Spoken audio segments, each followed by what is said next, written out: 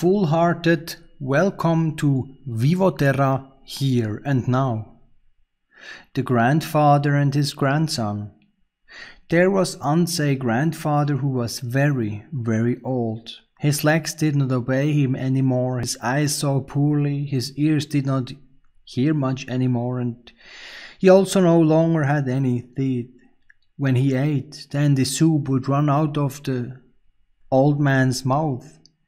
The son and daughter in law therefore did not let him eat at the table any more, but rather brought him his food behind the stove, where he sat in his corner, lonely. One day, after having brought in the soup in a bowl, he dropped the bowl and it broke. The daughter in law accused the old man of damaging everything in their house and shattering all the dishes, and said that from now on she would bring him his food in a wooden bowl. The old man just sagged and said nothing. A few days later, as the husband and wife sat together at home, they saw that their son was playing on the floor with small boards and was busy making something. Yeah, the father asked him, what is that supposed to be, Misha? And Misha answered, This is going to be a wooden bowl, father.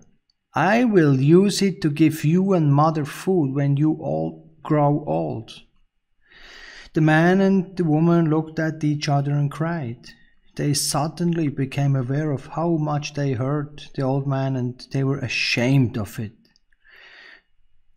From there Onwards, they let him sit at the table again and were kind to him. This short story should remind us all to be kind and respectful to our parents and elderly people. All the best. Remain in peace until the next here and now.